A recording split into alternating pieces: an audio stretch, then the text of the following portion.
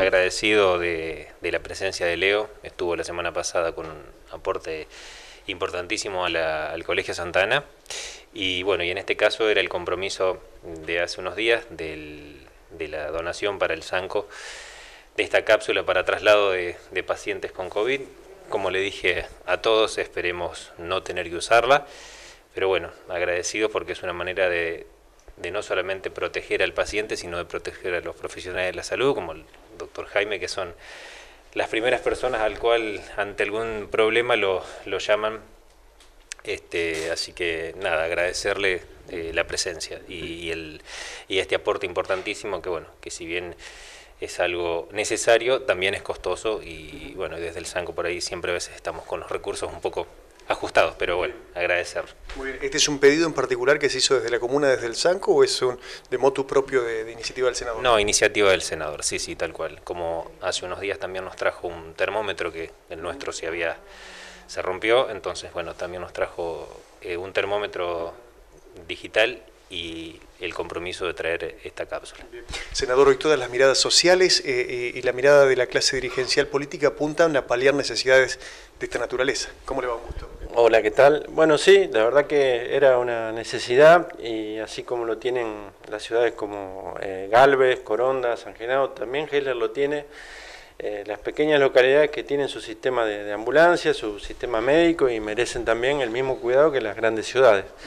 Sabemos perfectamente que si un personal de salud se nos enferma, realmente es difícil poder cubrirlo. Eh, el recurso humano no es abundante y por supuesto que una baja eh, de un médico nos, produciría una gran pérdida.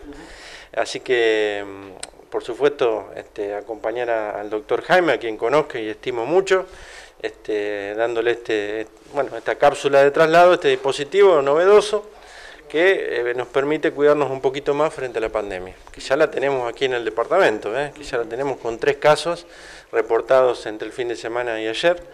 Y, bueno, el mensaje también a la población de que, se cuide mucho, de que los gobiernos locales están haciendo los máximos esfuerzos como para poder protegerlo, pero también tiene que haber una pata social de responsabilidad, de compromiso y de cuidado. Así que apelo a la responsabilidad de la gente, que no se junte, que trate de evitar todas las reuniones sociales y por supuesto comprendiendo el hartazgo de gran parte de la población, pero transmitiéndole que si hay un caso de COVID, desgraciadamente vamos a tener que pasar a una fase menor y se va a resentir todo el sistema económico, los negocios.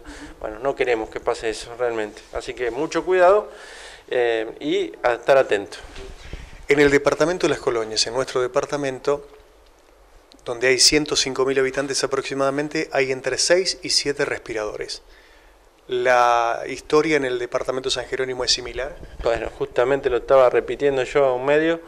Este, para 90.000 habitantes del departamento de San Jerónimo hay 6 camas con respiradores.